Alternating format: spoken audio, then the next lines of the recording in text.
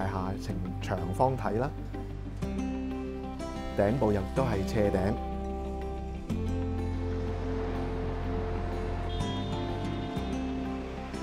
有銀色嘅外殼。個底部咧，隻腳咧亦都好似浮喺個地面上面。有啲人形容佢好似火箭升空咁樣。中環中央位置，樓高大約一百七十八米，一共五十二層。一九七三年落成嘅怡和大廈係本港首棟摩天大樓。置地公司喺一九七零年以二億五千八百萬投得，創當年地價最高紀錄。喺一九六零年尾嘅時候咧，香港政府亦都實行咗新一輪嘅填海中區填海計劃。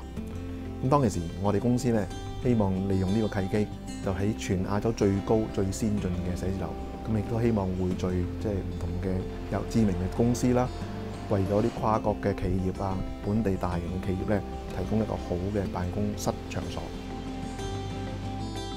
落成嘅時候咧，裏邊嘅租戶咧就包括咗好多香港嘅銀行界啦、金融界別啦、律師樓啦、股票行啊咁啊。我哋都為咗客戶咧提供咗配合嘅餐飲啊、零售啊咁嘅設備。咁亦都可以話咧，就係能夠符合到當初想興建一個全亞洲最高、最先進嘅建築樓咁嘅要求。大廈係日裔建築師穆夏一嘅作品。呢一位建築師主理嘅項目仲包括置地廣場、理工學院主校園等等，特點係富有動感同埋生命力。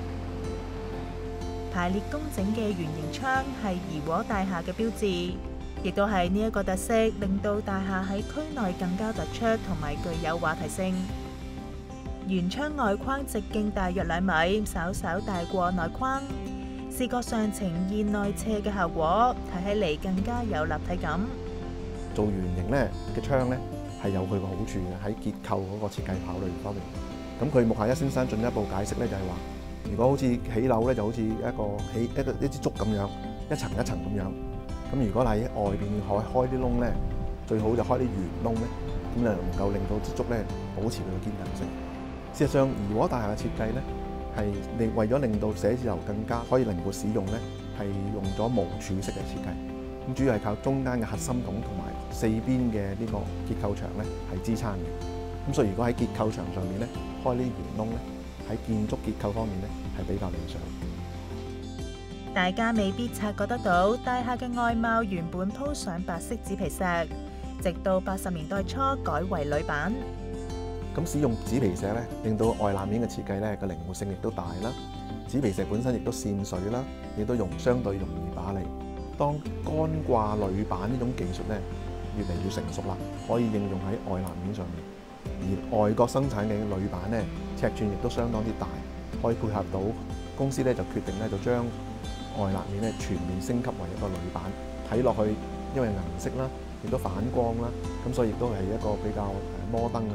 亦都唔會話落後啦嚇。頂層傾斜嘅部分，內裏係兩層機電設備層，可以有效盡用空間之外，亦都符合當年嘅建築條例。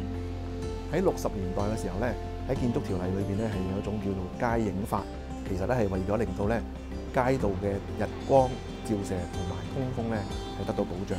簡單嚟講咧，就喺街道嘅中心畫一條斜線，七十六度嘅斜線咧。咁而建築物嘅高度咧，係唔能夠超過呢條斜線。唔單止怡和大廈，你見到好多其他建築物咧，亦都係喺高層嘅地方咧，係有逐級逐級褪後嘅情況，又或者咧成為咗一個斜嘅立面。基座結構之處，兩邊嘅線條好似向中間收起，形成梯形嘅拱門，配合四面通透嘅落地玻璃，展現現代建築主義嘅簡約美學。整個即係幾何嘅設計上邊啦，令到嗰個支撐咧可以係更加輕盈一啲啦。咁但係同時間咧，佢其實亦都係支撐住整座大廈嘅呢個結構外牆嘅一啲啊元素嚟嘅。咁所以咧喺成個結構上咧，其實佢係非常之重要嘅一個元素啦。咁佢誒將嗰個外牆啦誒嘅支撐咧係放咗落去呢幾個誒腳仔上邊嘅時候咧。就可以做到有一種咧，其實有少少似香港嘅騎樓咁樣嘅空間嘅。喺個大堂望出去出邊嘅環境，望出去出邊嘅呢個廣場嘅時候呢，就可以做到係真係外邊嘅空間同埋裏邊嘅空間呢，好似一個視覺上嘅一個連接咁樣樣。咁呢個亦都係我覺得即係喺整個設計入邊非常之聰明嘅一個地方。而家大堂同早期設計嘅分別唔大，主要以雲石鋪砌，配大量不鏽鋼元素，又引入當時比較先進嘅現代化設備，例如高速升降機、冷氣系統等等。咁咧，佢個大堂啦，其實咧亦都係一個喺當時嚟講都係一個誒好新穎嘅一個設計啦。佢係一個雙層嘅一個設計嚟嘅。咁佢第二層嘅空間咧，其實就係連接咗去整個行人天橋嘅網絡啦。咁所以咧，佢呢個大堂咧，其實如果細心咁樣諗咧，佢唔純粹係只係一個誒，淨、呃、係服務呢一個建築物嘅一個大堂，一個 lift lobby 咁樣啦。其實咧，佢亦都係連接住整個中環嘅一個誒、行人天橋網絡啦，同埋公共空間嘅一個地方嚟嘅。大廈喺過去多年嚟不斷保養翻新，包括增加保安、入閘系統同埋綠化屋頂等等，獲得綠建環評白金級認證。佢就係一個好有歷史嘅建築物啦，好有象徵意義嘅建築物啦。中間咧透過不斷嘅誒翻新呢個 building 去 upgrade 呢個 building 啦，去令到佢嘅生命一路可以咁樣延續。咁我諗喺今日睇起嚟啦，即係呢一個做法咧，亦都係非常之環保嘅一個做法啦。時至今日，租戶裏面嘅組合，銀行、律師樓、會計師樓、金融機構嘅佔比咧達到百分之八十，可以話係見證咗香港作為國際金融中心嘅最好證明。